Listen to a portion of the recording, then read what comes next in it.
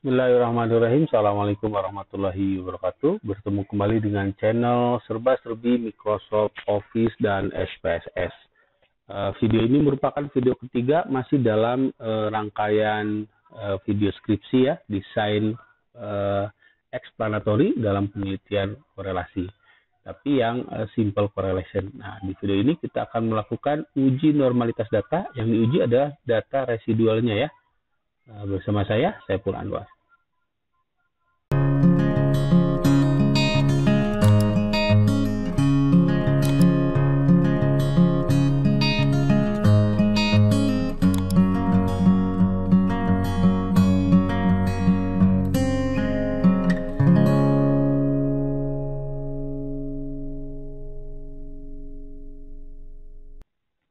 Bismillahirrahmanirrahim. Assalamualaikum warahmatullahi wabarakatuh.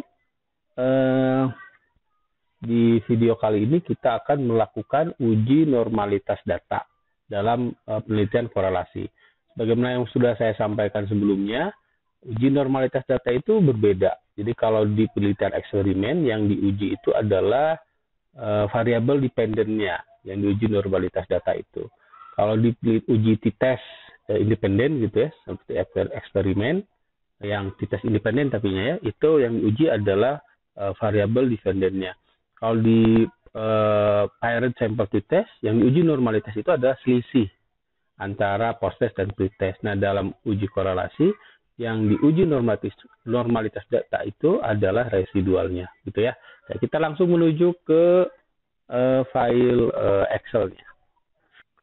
Baik, ini file Excel-nya ya masih dengan judul skripsi yang sama, yaitu hubungan motivasi dan hasil belajar siswa studi korelasi desain eksplanasi eh, desain explanatory di.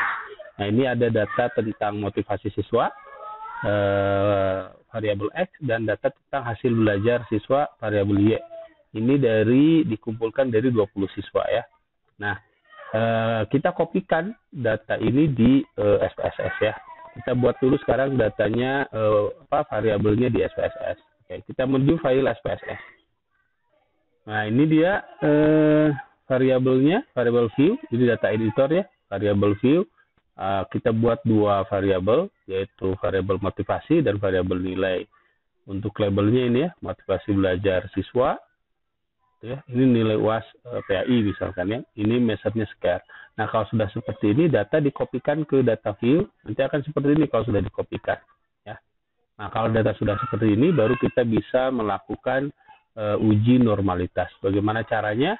Nah, sekali lagi, untuk penelitian korelasi, terutama regresi linear nanti ya, itu yang diuji normalitas itu adalah uh, residualnya. Nah, kita lakukan dengan cara menu analyze, lalu kita uh, regression linear, ya, uh, kita reset dulu. Nah, yang dependennya masukkan nilai UAS, yang independennya kita masukkan yang motivasi. Nah, seperti ini ya.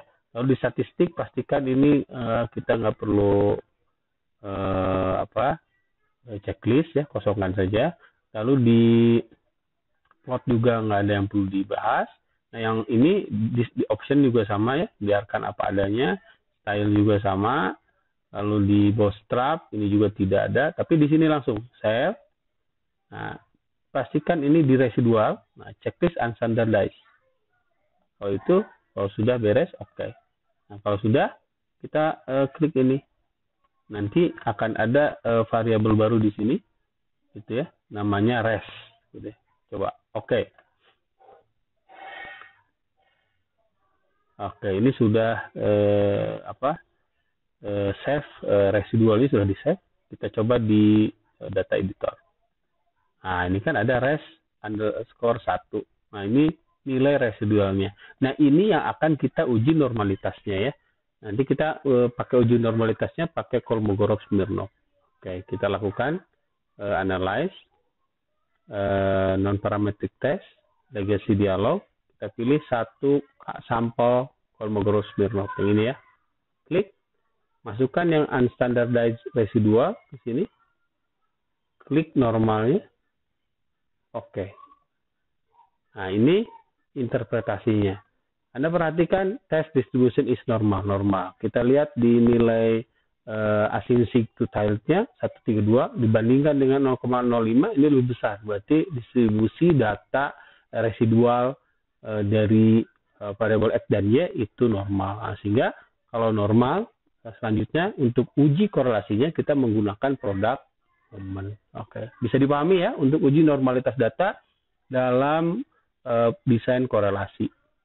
Terima kasih. Assalamualaikum warahmatullahi wabarakatuh.